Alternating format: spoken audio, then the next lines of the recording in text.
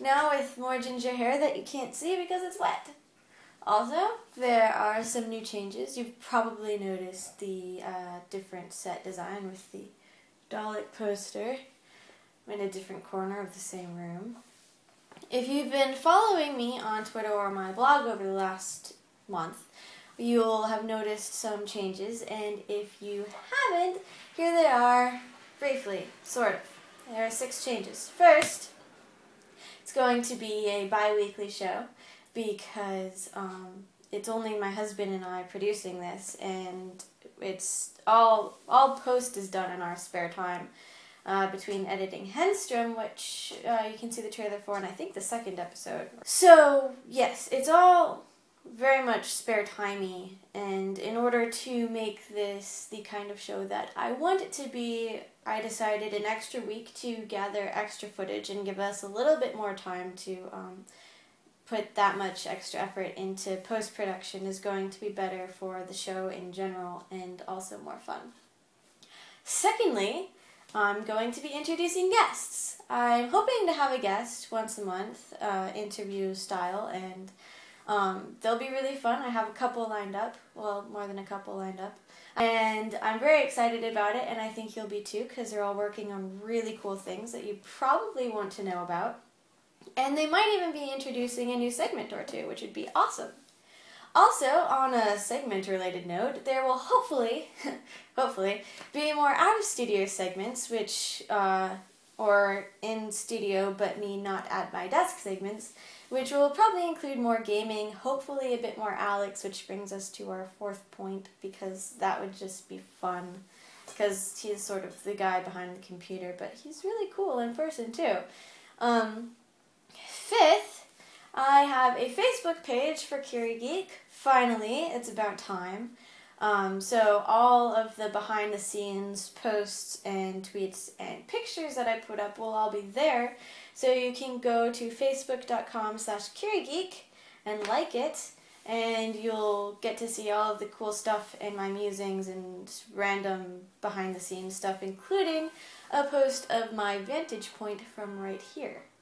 Sixth, I have a new store. I put my logo on random stuff on Cafe Press, and you should go check it out because it's really cool and fun. And I have cups and purses and shirts, and they look really cool. The other thing that we did um, last month was we went and saw the last Batman movie.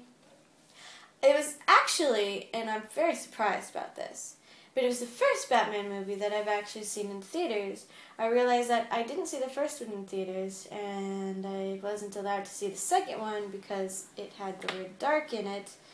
So strange, yes.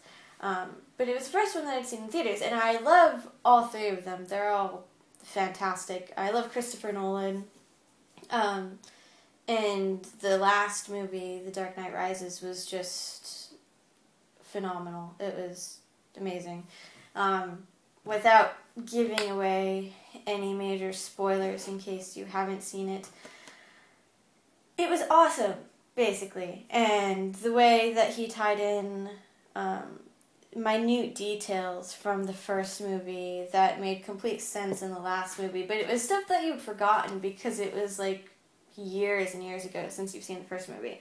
It was just amazing, and the story arc was an awesome, and the plot twist was like.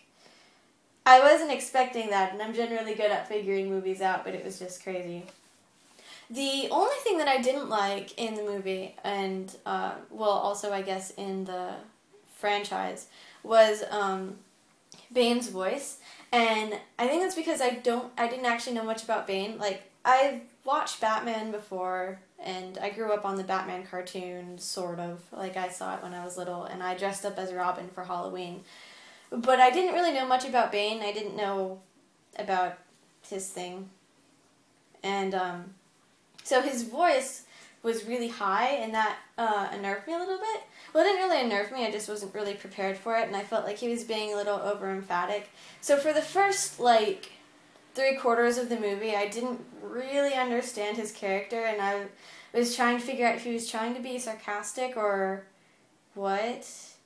But also, I think it's because um, it was just such a huge contrast between Heath Ledger's Joker and Shadow Heidi. I like blue flowers, and you can't see me person um, guy from the first movie, and then and then of course uh, Christian Bale's Batman voice, which is weird and deep and whispery.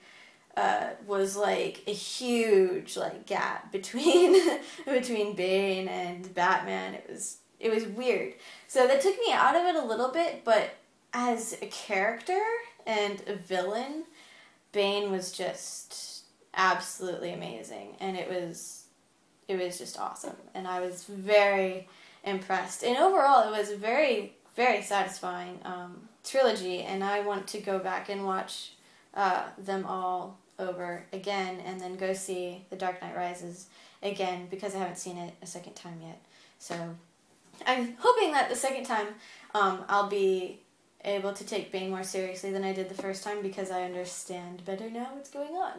And um, everything makes so much more sense. So, if you haven't seen it, you should go see it. Um, if you haven't seen any of the Batman movies, you should watch them all first and then go see it because then everything will make even more sense and your mind will be blown because it's Christopher Nolan doing his thing. So, yeah. This next season is going to be awesome, and I promise the episodes will be better than this month because I'll have it all together. It's to be awesome. Thanks, guys.